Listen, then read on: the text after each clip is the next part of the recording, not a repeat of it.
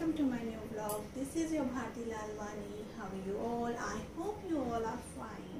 Jaipur में two days का night market लगा है 26 एंड 27 सितंबर का एंड इट्स 27 सितंबर तो मैं आज वहाँ नाइट मार्केट विज़िट करने वाली हूँ मैं आपको अपना एक्सपीरियंस शेयर करूँगी कि नाइट मार्केट कैसा है लोगों ने तो बहुत तारीफ़ की है और मैंने काफ़ी वीडियोस भी देखे हैं इंस्टाग्राम रील्स पे तो वो मुझे देखने में तो बहुत सुंदर लग रहा है, लेकिन मैं वहाँ आज विज़िट करने वाली हूँ तो मैं आपको अपना एक्सपीरियंस शेयर करूँगी कि एक्चुअल में मार्केट कैसा है तब तक के लिए आप बने रहिए। सो so गाइस अब हम सिटी में एंटर कर चुके हैं। ये जयपुर का फ़ेमस सरगा सूली है, जो कि रात में बहुत ही सुंदर दिखता है। और अब हम ये आ गए हैं हवा महल के पास। यहाँ पे कुछ लोग फ़ोटो क्लिक करा रहे हैं। अभी आप देख सकते हैं, ये दो मेन गेट आ रहे हैं। तो आई थिंक दिवाली आने वाली है तो यहाँ पे कुछ डेकोरेशन का होने जा रहा है।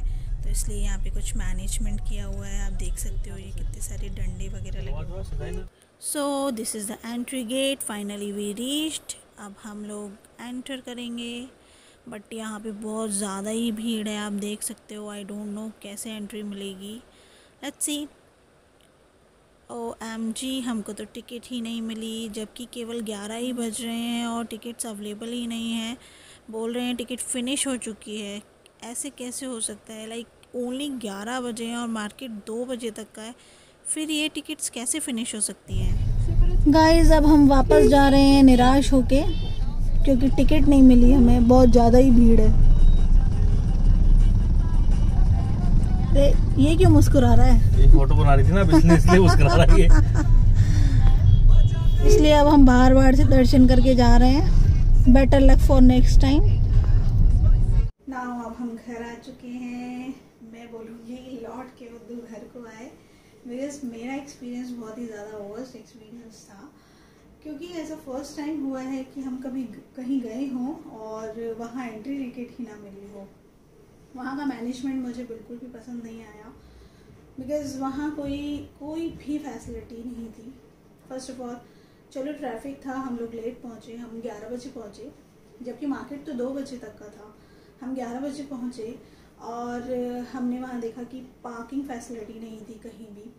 लोग कूद कूद कर वहाँ जा रहे थे बॉयज़ वगैरह जो थे।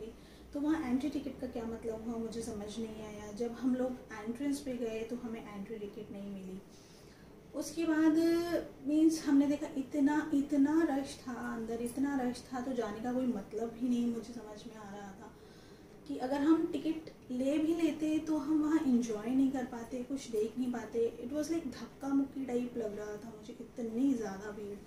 तो मेरा एक्सपीरियंस तो बहुत ही गंदा था, जहाँ पे पार्किंग की फैसिलिटी ना हो एंट्री टिकट की फैसिलिटी ना हो या फिर कोई पुलिस मैनेजमेंट ना हो तो it was like nothing means मैं ये बोलूँगी कि केवल टू डेज़ का मार्केट रखा। वाई टू डेज़ में मतलब एक दिन तो लोगों जब लगा उसके बाद तो लोगों को पता चला। तो नेक्स्ट डे इतनी ज़्यादा पब्लिक हो गई कि काफ़ी लोग मैं देख रही थी।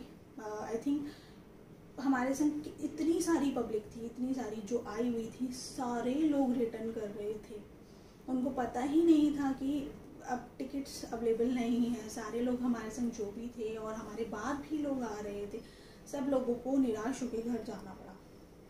अब अगर हम बात करें अंदर वहाँ स्टॉल्स की तो दो दिन में उन्होंने क्या ही अर्न किया होगा? लाइक सेकेंड डे भी ग्यारह बजे एंट्री क्लोज कर दी थी तो क्या ही मतलब रहा? या तो आप डेज़ को इंक्रीज करते या फिर प्रॉपर मैनेजमेंट रखते so that more people can visit there और मुझे तो मीन्स नहीं अच्छा लगा। आप कमेंट में बताइएगा कि कौन कौन वहाँ गया और किस किस को मार्केट अच्छा लगा। Okay bye thank you see you soon in the next video I hope आपको ये वीडियो अच्छा लगा हो। Bye bye